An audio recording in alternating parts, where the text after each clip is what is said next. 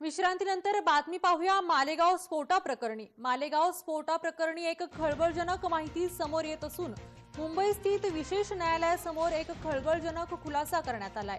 मालेगाव स्फोटात खोटी साक्ष देण्यासाठी एटीएसकडून छळ करण्यात आल्याचा दावा करण्यात आलाय. संघाच्या नेत्यांना अडकवण्यासाठी खोटी साक्ष द्यायला दबाव तयार करण्यात येत असून देवधर इंद्रेश कुमार असीमानंद यांना कटात गोवण्याची योजना असल्याचं समजत आहे. तर तत्कालीन पोलिसांनी एका साक्षीदाराचा छळ केला असल्याची देखील माहिती समोर येत आहे. मालेगाव स्फोटाप्रकरणी एका वृत्तसंस्थेने ही माहिती दिली असून मुंबई स्थित विशेष न्यायालयासमोर हा खळबळजनक खुलासा करण्यात आलाय.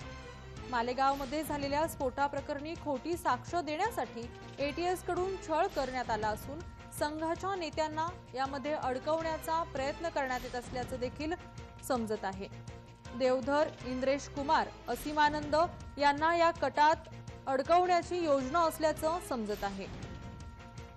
तत्कालीन पोलिसांनी एका साक्षीदाराचा छळ केला असून मालेगाव स्फोटाप्रकरणी एका वृत्तसंस्थेने ही माहिती दिली मालेगाव स्फोटात खोटी साक्ष देण्यासाठी एटीएसकडून छळ करण्यात आला असून मुंबई स्थित विशेष न्यायालयासमोर हा खळबळजनक खुलासा करण्यात आलाय. संघाच्या नेत्यांना अडकवण्यासाठी खोटी साक्ष द्यायला दबाव तयार करण्यात आला असून देवधर इंद्रेश कुमार असीमानंद यांना कटात गोवण्याची योजना असल्याचा खुलासा या न्यायालयासमोर करण्यात आलाय.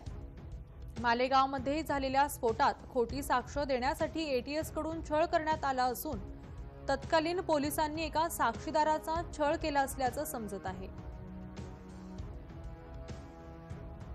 चौकशीचा भाग आहे. त्यांनी जे काय तक्रार केलेली आहे त्याची चौकशी होईल होईलच आणि त्याच्यावर जे काय उचित होईल ते कारवाई होईल. आता महाविकास मतभेद दिसतो असं झाला नाही पाहिजे. दुर्दैव आहे असं झालं नाही पाहिजे. तर मालेगावातील स्फोटात खोटी साक्ष देण्यासाठी एटीएसकडून छळ करण्यात आला असल्याचा खुलासा न्यायालयासमोर करण्यात आलाय. संघाच्या नेत्यांना अडकवण्यासाठी खोटी साक्ष द्यायचा दबाव तयार करण्यात येऊन देवधर इंद्रेश कुमार असीमानंद यांना या कटात गोवण्याची योजना असल्याचं देखील समोर आलंय. तत्कालीन पोलिसांनी एका साक्षीदाराचा छळ केला असून संघाच्या नेत्यांना अडकवण्यासाठी खोटी साक्ष द्यायला दबाव तयार करण्यात आला असल्याचं देखील माहीत होतंय. मालेगाव स्फोटात खोटी साक्ष देण्यासाठी एटीएसकडून छळ करण्यात आला असल्याचा खुलासा न्यायालयासमोर करण्यात आलाय.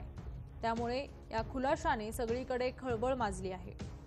देवधर इंद्रेश कुमार असीमानंद यांना या कटात गोवण्याची योजना असून तत्कालीन पोलिसांनी एका साक्षीदाराचा छळ केला असल्याचं विशेष न्यायालयासमोर एका खुलाशामध्ये सांगण्यात आलंय. मालेगाव स्फोटात खोटी साक्ष देण्यासाठी एटीएसकडून छळ करण्यात आला असून संघाच्या नेत्यांना अडकवण्यासाठी ही खोटी साक्ष देण्यासाठी दबाव तयार करण्यात आला होता. असा देखील खुलासा यावेळी करण्यात आलाय.